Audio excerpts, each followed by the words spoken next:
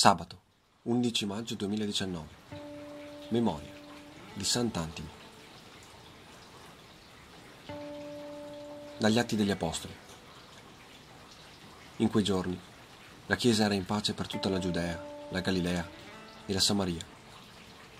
Si consolidava e camminava nel timore del Signore e con il conforto dello Spirito Santo cresceva di numero. E avvenne che Pietro, mentre andava a far visita a tutti, si recò anche dai fedeli che abitavano a Lida. Qui trovò un uomo di nome Enea, che da otto anni giaceva su una barella perché era paralitico. Pietro gli disse, Enea, Gesù Cristo ti guarisce. Alzati e rifatti il letto. E subito si alzò.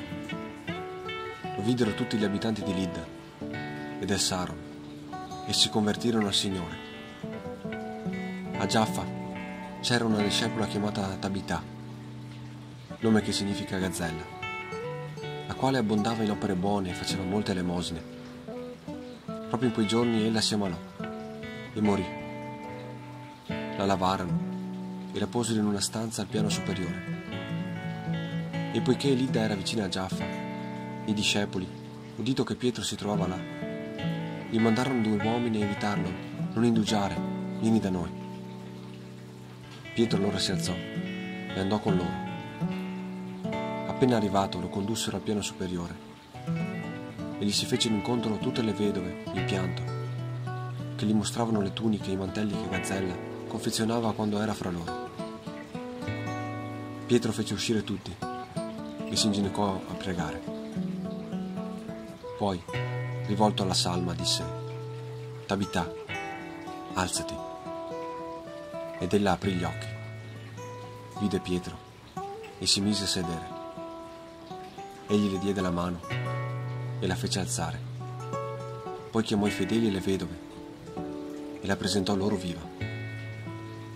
La cosa fu risapita in tutta Giaffa e molti credettero nel Signore.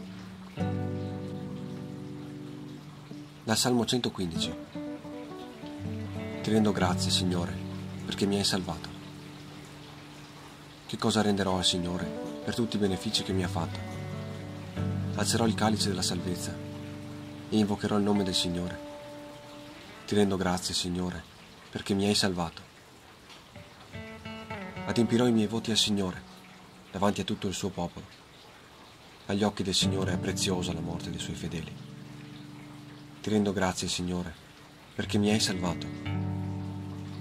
Ti prego, Signore, perché sono tuo servo io sono tuo servo, figlio della tua schiava.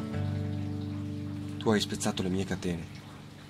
A te offrirò un sacrificio di ringraziamento e invocherò il nome del Signore. Ti rendo grazie, Signore, perché mi hai salvato. Dal Vangelo secondo Giovanni. In quel tempo, molti dei discepoli di Gesù, dopo aver ascoltato, dissero, questa parola è dura. Chi può ascoltarla? Gesù, sapendo dentro di sé che i suoi discepoli mormoravano riguardo a questo, disse loro, questo vi scandalizza? E se vedeste il figlio dell'uomo salire là dove era prima? È lo spirito che dà la vita. La carne non giova a nulla. Le parole che io vi ho detto sono spirito e sono vita, ma tra voi vi sono alcuni che non credono. Gesù infatti sapeva fin da principio chi erano quelli che non credevano e chi era colui che lo avrebbe tradito. E diceva, per questo vi ho detto che nessuno può venire a me, se non gli è concesso dal Padre. Da quel momento molti dei suoi discepoli tornarono indietro e non andavano più con lui. Disse allora Gesù ai dodici, volete andarvene anche voi? Gli rispose Simon Pietro, Signore, da chi andremo? Tu hai parole di vita eterna e noi abbiamo creduto e conosciuto che tu sei il Santo di Dio.